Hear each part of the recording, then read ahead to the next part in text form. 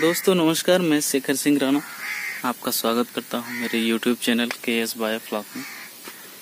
दोस्तों, काफ़ी दिनों से मैं सोच रहा था इस अपने जो बायो फ्लॉक टैंक है, एक में ही कल्चर कर रहा हूँ मैं, क्योंकि एक ये वाला टैंक मेरा हमेशा खाली रहता है और केवल और केवल इसको मैं सीड बैंक के पर्पज से यूज़ कर रहा हूँ अभी।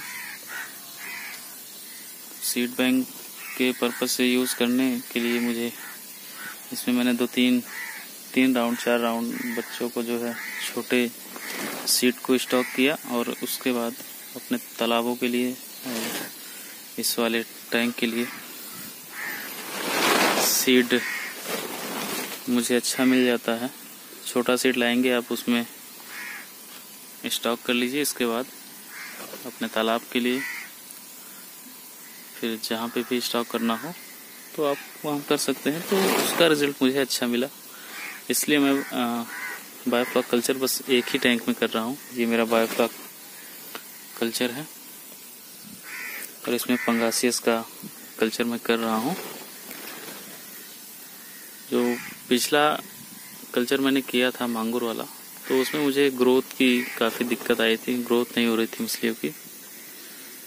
तो मैंने सोचा कि इस बार डेंसिटी एकदम से बहुत ही लो डेंसिटी करके मैं कर रहा हूँ।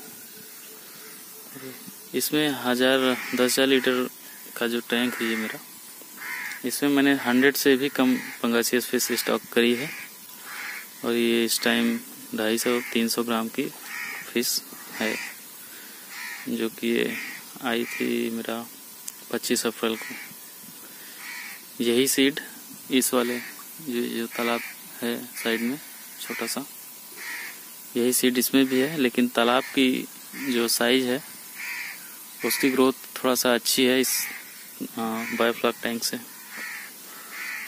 इसमें बाकी सब कुछ एकदम से नॉर्मल है, सारा parameter T D S P H ammonia N O two बाकी सारी चीज़ें। अच्छे से चल रहा है ये फ्लॉक की डेंसिटी आपको दिख रही होगी। तो ये फ्लॉक की कंडीशन है।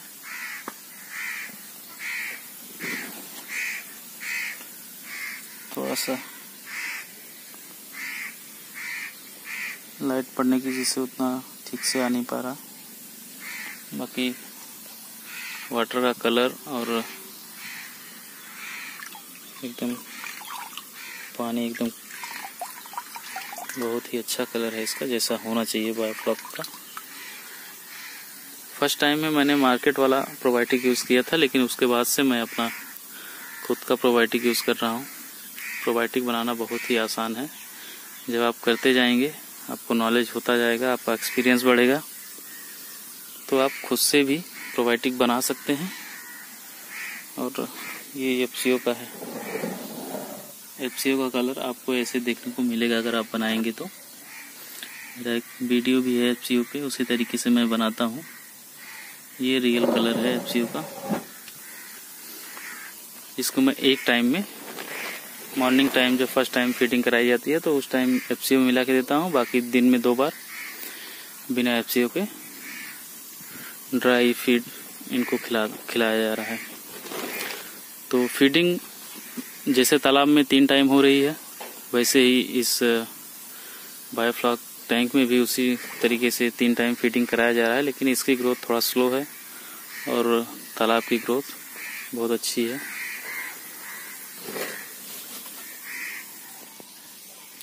जब इस नर्सरी टैंक में जब 25 अप्रैल को सीड ले आए थे तो 15 दिन करीब और कुछ और टाइम शायद रखे थे इसमें।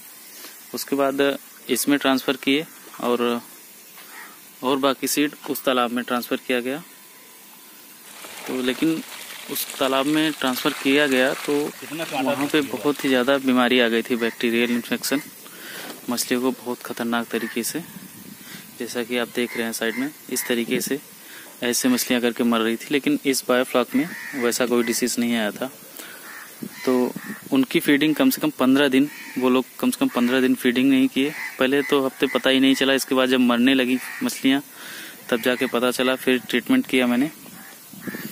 वो भी हुआ था इस वजह से क्योंकि बहुत नया पानी था और नई नई फ़र्स्ट टाइम की बारिश हुई थी तो उस टाइम में फंगल आ जाता है और बैक्टीरिया इन्फेक्शन बहुत तेज़ी से आता है। तो वो कम से कम पंद्रह से पंद्रह से अट्ठारह दिन उन लोगों ने फीडिंग नहीं की थी, वो तालाब वाली मछलियाँ जो उसमें तालाब में लेकिन इस टैंक की मछलियाँ स्टार्टिंग से अच्छे से फीडिंग कर रही हैं, लेकिन तब भी इनका स्लो ग्रोथ जो है, इनका स्लो है, तालाब के मुकाबले।